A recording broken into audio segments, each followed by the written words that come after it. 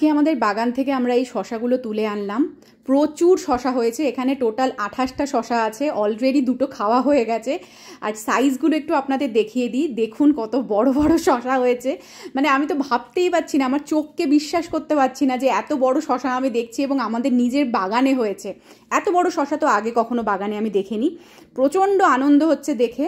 এইগুলো দেখুন, এইগুলো গত সপ্তাহে তুলেছিলাম। এইগুলোই এখনও খেয়ে উঠতে পারিনি, তার উপরে আবার এতগুলো শশা নিয়ে এসেছি আজকে। আর এখানে দেখুন ভিন্ডির চেহারা, এইগুলো সব নিজেদের গাছের ভিন্ডি। আমি দু চার দিন আগে গিয়ে ছোট ছোট দেখেছিলাম, এখন দেখুন কত লম্বা বড় হয়ে গেছে। আসলে এই তিন চার দিন টানা বৃষ্টি হয়েছে, তো সেই জন্যই সবজিগুলো এত বড় হয়ে গেছে। টমেটো এখানে টোটাল তিরিশটা টমেটো আছে মানে প্রচুর সবজি হচ্ছে এবার। মানে আমরা ভরে যাচ্ছে ঘর আমার মানে কোথায় রাখব, কীভাবে এগুলো খাব আমি বুঝতে পারছি না। হয়তো আমাদের পাশের বাড়ির নেবারদের সবাইকে দিয়ে আসতে হবে আর কি।